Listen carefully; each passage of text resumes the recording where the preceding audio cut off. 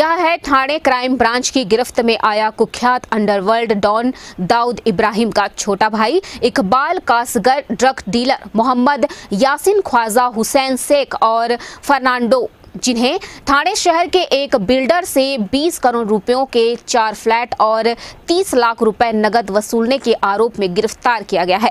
कल देर रात तक मुंबई के नागपाड़ा परिसर की गार्डन हॉल अपार्टमेंट में छापा मारकर इन्हें गिरफ़्तार किया। जिस फ्लैट में इन्हें गिरफ़्तार किया गया है, वह फ्लैट दाऊद इब्राहिम की बहन हसीना पारकर के नाम पर है। और जब इकबाल कास्कर को गिरफ़्तार किया गया था, तब वह खा रहा था बिरयानी। फ़िलहाल अब उस पर हफ़्ता वसूली की करीब 12 और शिकायतें थाने पुलिस के पास आई है।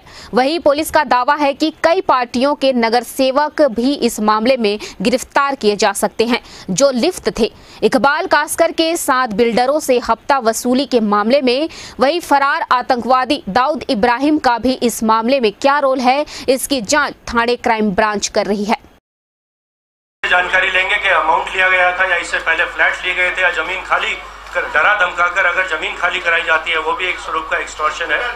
तो पूरी जानकारी इस प्रकार की। जी?